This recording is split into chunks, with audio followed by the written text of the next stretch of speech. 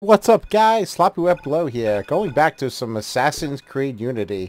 Maximum settings minus the anti-aliasing, which we're not going to use in 4K. This game looks really good in it. We haven't played it in a while, so I want to give it some love. It's the newest drivers that just came out.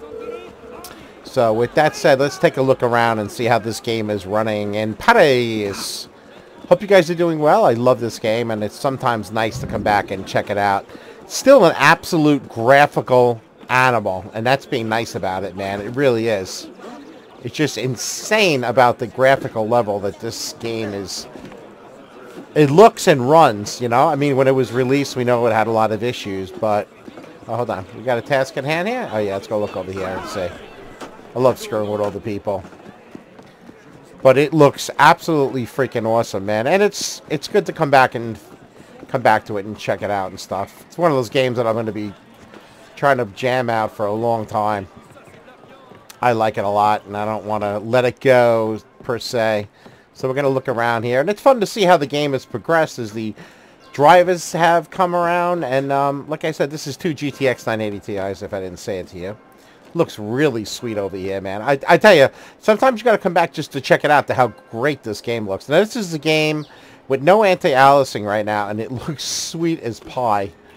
Really is absolutely breathtaking, and I like that fact of it. Where Syndicate is a mess, even with the anti-aliasing, it's just not that good looking.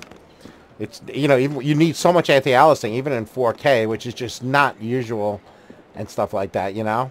Well, let's see what we got here. Let's see if we can get down here. Well, that's a little bit of a far fall, but he does it fine. Let's go over here and pick up the stuff here. See what it's saying.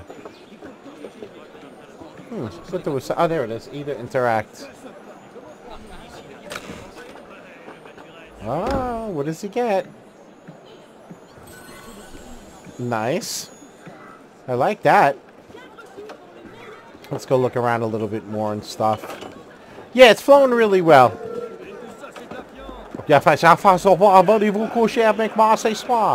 Oh, that's going to be, uh hanging, and that's going to be me in a few minutes, I'm sure. They're going to be one to hanging my ass. I love how great this game looks. So, yeah, it's it's it's flowing pretty good. You, you still see that, you know, when you crank it up like this, you're going to have some um, FPS loss. Look at it, just in the 50s. Crazy, man. Just shows you how graphical this game is. And it definitely has come a really, really long way from where it was. And this is, uh, I was going to say, I think I lost my train of thought. This is with hyper-threading off, which I never tried before with um, Syndicate or, or Unity. So, see what's going on up above here and take a look. Little aerial of what's going on here in the uh, Paris. Oh, there we go. Go up. My little bird. I love this guy. He's like Spider-Man on crack. Oh, there we go. Let's get down here a little bit. Oh, that's going to hurt. This guy is...